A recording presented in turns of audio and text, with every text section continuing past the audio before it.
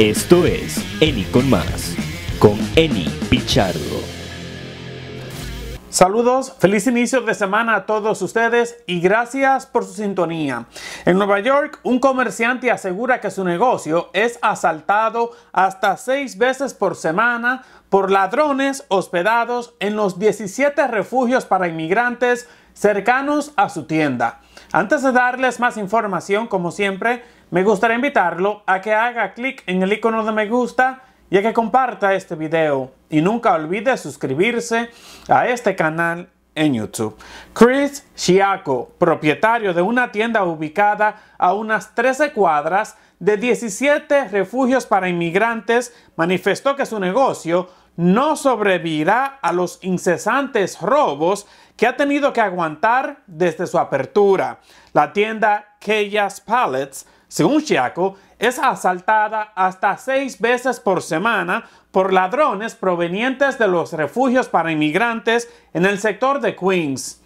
En Keyas Pallets se venden diferentes productos como alimentos, ropa, productos electrónicos y artículos básicos como pañales a precios mayoristas, y este podría ser el motivo por la que se producen tantos robos en este negocio, con estos asaltos, según Chiaco, su negocio pierde al menos 3 mil dólares mensuales.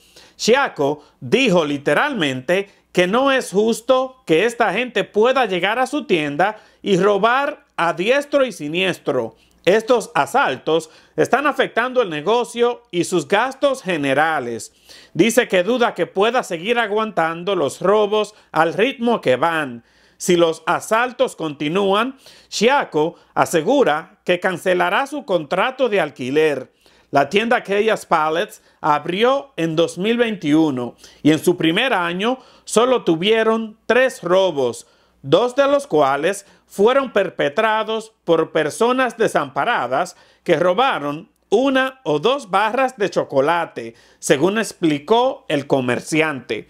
Pero desde que los refugios para inmigrantes abrieron hace dos años, en su negocio se ha robado todos los días y regularmente se llevan cosas pequeñas y grandes. En uno de los robos más recientes, un sujeto entró tranquilamente a la tienda a eso de las once y media de la mañana y luego salió con un palé completo de Gatorade, a menos de un minuto de haber entrado. En las horas posteriores a ese crimen, Chiaco llamó a la policía seis veces, esperó más de ocho horas y ningún oficial llegó para ayudarlo.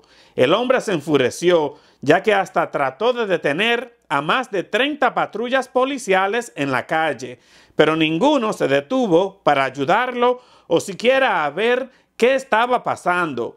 Chiaco dice que el año pasado llamó a la policía al menos una docena de veces por incidentes similares, pero nunca obtuvo respuesta.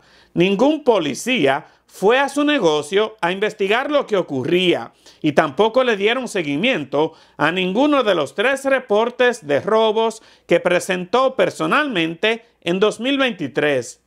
Y cuando denunció el robo más reciente en la comisaría, un policía presuntamente le dijo que la mejor solución sería contratar agentes de seguridad para que me explicaran la situación que están experimentando muchos negocios y toda la ciudad debido a la crisis migratoria, contacté al sargento retirado Johnny Núñez. Eni, primero mira, estamos viviendo un momento histórico en esta nación americana. Eh, a nivel nacional ya vemos la novela que se está viviendo eh, en torno a las elecciones de, noviembre, eh, donde ya un expresidente y, y, actual candidato a la presidencia pues ya sufrió un atentado, o sea, donde hasta el día de hoy pues ha sido sospechoso porque aún no tenemos respuestas de cómo pudo haber pasado. Pero, y eso es a nivel eh, nacional, pero si bajamos a las ciudades, no solo esta ciudad, pero vamos a enfocarnos acá, eh, esta ola de crimen que se está viviendo, aunque yo creo que esto, es, yo lo predije hace tres años, mira, con, con, la nueva legislación de, de, la serie de reformas que se pasó aquí en, en, el estado de Nueva York y en la ciudad, y yo decía que eh, estamos dentro de lo que es la ecuación imperfecta del desastre. ¿Por qué el desastre que se está viviendo? ¿Cómo se explica eso? A mi entender, mira, ¿cuáles son esos factores?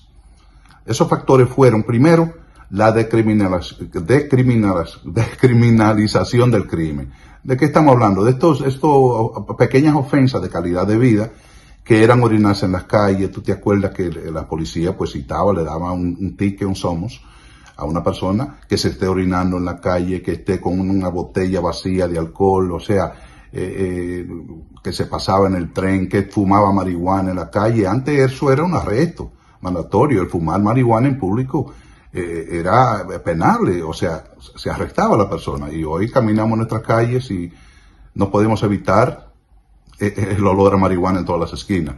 Tú le sumas otro factor que fue que se, se decriminalizaron más de 400 crímenes que se añadieron a una lista que antes se consideraban eh, misdemeanors, crímenes menores, que eran fotografiables, o sea, tú te, arrestaban, a, pesar de que eran crímenes menores, pues tú tenías que ir a la corte y ya eso te podía dar un, récord y si no cumplías, eh, si no cumplías o no pagabas, pues te daban un garante. Eh, ¿Qué más? Bueno, eh, la, eliminación de fianza, porque es así, porque tenemos tantos criminales en la calle, fueron más de 3.800 delincuentes, eh, que esto lo inició Di, Blasio, que hoy están en las calles, reincidentes y cometiendo más crímenes. Eh, y las medidas que pasó, otro factor es las medidas que se, se, pasó en el Consejo Municipal. Estamos hablando, y algo que aplica a esto lo que está pasando con la pandilla, que fue el aumento de la edad de responsabilidad criminal. Antes un chico de 13 años cometió una muerte y, era tratado como adulto en la corte, igual que un niño de 14, de 15. Antes la edad de responsabilidad criminal era 16 años. ¿Y qué ha pasado? Esto se aumentó a 18 años. ¿Qué quiere decir esto? Y enfocándonos en esto que estamos viviendo con este, esta pandilla. Eh, mucha, la mayoría de estos chicos, en muchos casos, son menores y se arrestan, van a un juez y ya no son considerados como adultos. Simplemente le dicen, ah, mira, no lo hagas otra vez y regresan a la calle.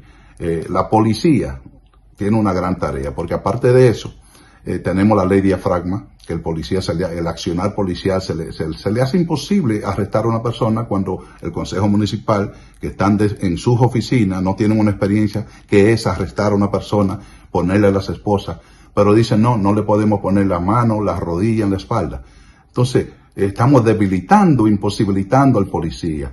Eh, está la inmunidad calificada. Entonces, si este policía eh, toma acción en la calle y sucede, eh, a raíz de eso, sucede que hay una persona grave herida o aparece muerta, pues ya ahora quieren culpar al policía de manera responsable personalmente, entonces esto atenta con su tu patrimonio. Por eso muchos oficiales pues ya se están retirando. A los 20 ya se van y, con, como se están yendo, se va mucho conocimiento.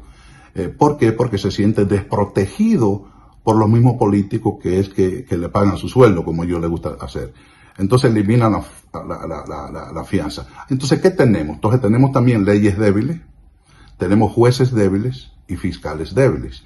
Y ahora se, se añade a esta problemática el tren de Aragua, muchos eh, eh, que son venezolanos, que, que, o sea, es un desafío grande para la policía, porque entonces estos chicos, como te dije, muchas veces jóvenes, menores de edad, también se le agrega que la mayoría pasaron por las fronteras abiertas que tenemos y muchos de ellos no tienen, la policía no tiene un registro de quiénes son.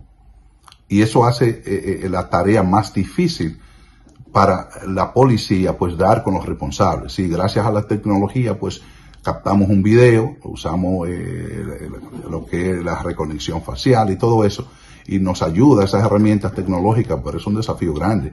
Es algo nuevo para esta policía, un gran desafío. Y la verdad que sí, eh, el resultado de esta ecuación es el desastre que se está viviendo. Muchísimas gracias al sargento Núñez por su colaboración. Debo resaltar que debido a estos robos, Chris Chiaco se ha visto obligado a cambiar su manera de hacer negocios. Por ejemplo, en vez de vender ropa interior al por mayor, ahora debe de vender estos artículos individualmente por un dólar. Chiaco afirma que la única forma de combatir el robo y la pérdida de ingresos es dejando los productos sueltos y donde los pueda ver.